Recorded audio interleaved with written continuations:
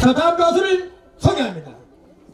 매우 같은 여가노사 전국을 방방 뜨고 계시는 최영주 가수를 소개합니다.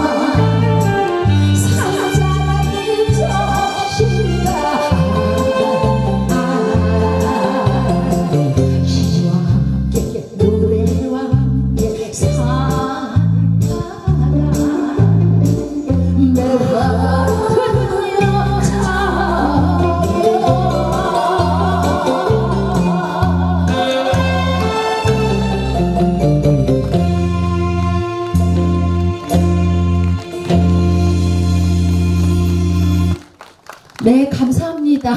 오늘 매화 같은 여자 최영주가 아이고 대구의 유명한 아, 803 가파이 예, 여기까지 오늘 어, 오고 보니까 굉장히 어, 잘 왔다는 생각이 듭니다. 특히 오늘 우리 큰용 어, 네, 저 큰용 꿈의 무대 음악 어, 여행이네요. 네, 예, 이 음악 여행에 제가 함께 어, 할수 있어서 너무 감사하고요. 그리고 아름다운 어, 팔공산 가빠이 어, 또 부처님 모습도 아까 올라오면서 이렇게 잠시 뵀는데 아, 이 유명한 곳에 오늘 와서 아름다운 어, 정치와 함께 노래할 수 있어서 너무 감사합니다.